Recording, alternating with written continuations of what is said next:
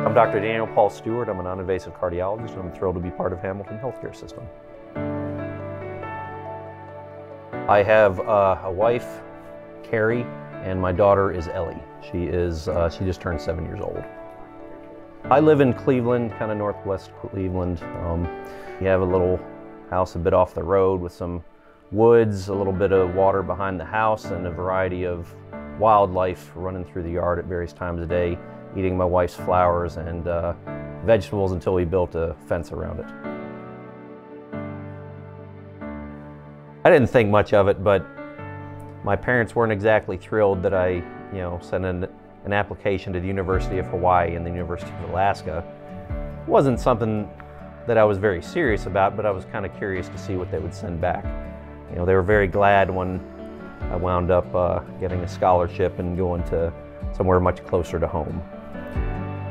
At Texas A&M, uh, I guess I did the first two years which is mostly introductory courses and then kind of the basic electrical engineering courses.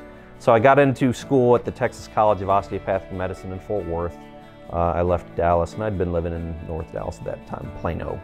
Uh, moved to Fort Worth where I lived for another 10 years. One of the things I think Hamilton offers that is not something common you would find elsewhere uh, is They have a comprehensive system where from toe to top of the head, you can get good health care. Within the same system, that allows for transparency between the specialists. It facilitates communication between the specialists so that the left hand knows what the right hand is doing. I've run into a few patients who are perfectly fine going to five different cities to get their care, but almost everyone is much happier when they can go to, to one place. And the biggest complaint I get probably for the multiple doctors, the biggest uh, benefit to getting the care in the same place is the transparency so that the left hand knows what the right hand is doing. That's very important. And unfortunately, communication between specialists, sometimes even with the primary care docs, is not what it should be in medicine. In cardiology, we do deal with a lot of sick patients, and so it's very gratifying when those people come back in, uh, the people that we can help, and we're able to make the differences in their lives to, to get more out of it.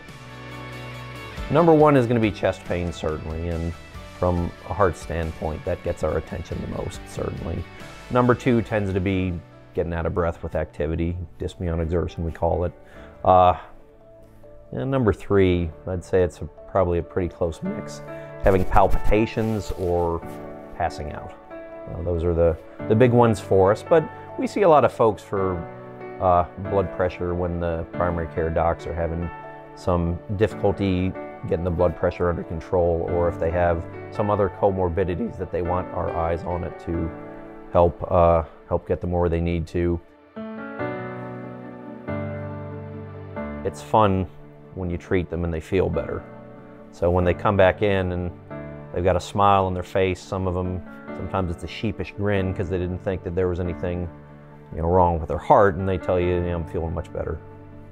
Glad, glad I came to see you. That, you know, that really, really makes you feel better. I do try to, as much as possible, when I'm uh, taking care of a patient, ask myself if this was my mom or my dad or my brother or my daughter or my wife, would I be happy with the care they're receiving? That I, I feel is a good thing to ask ourselves to make sure that we are delivering the best care possible.